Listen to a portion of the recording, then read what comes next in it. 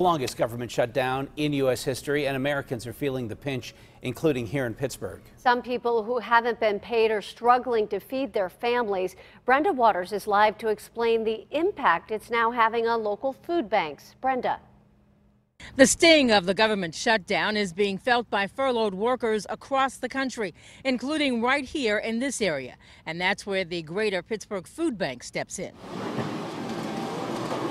We know in our 11 county service area there are approximately 20,000 federal employees who are either currently working without pay or are furloughed. The need is real. Earlier this week, the Greater Pittsburgh Food Bank held a special distribution at its Duquesne facility. Two dozen families left with boxes filled with food, and federal workers will get another chance to stock up as well.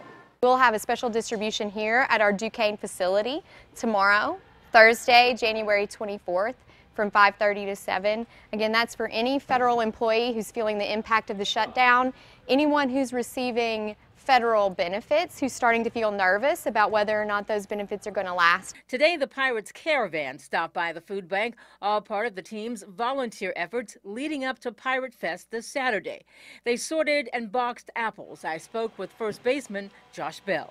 It's definitely special. Uh, we, we, had no idea coming in. Uh, who exactly we were packing for, but it brings us that much closer. We know the, uh, the families that are being affected. The food bank is hearing heartbreaking stories from those in need. And what we're really hearing from people is, you know, an overwhelming sense that this is not a place they ever thought that they would come for help. Uh, the food bank was a charity that they supported, uh, not a place that they thought they would need to come for help. The next food bank distribution will happen at the convention center in downtown Pittsburgh.